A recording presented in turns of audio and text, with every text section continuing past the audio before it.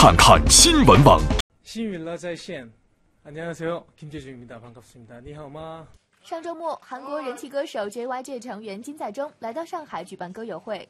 晚上七点半，金在中在欢呼声中出现在舞台中央。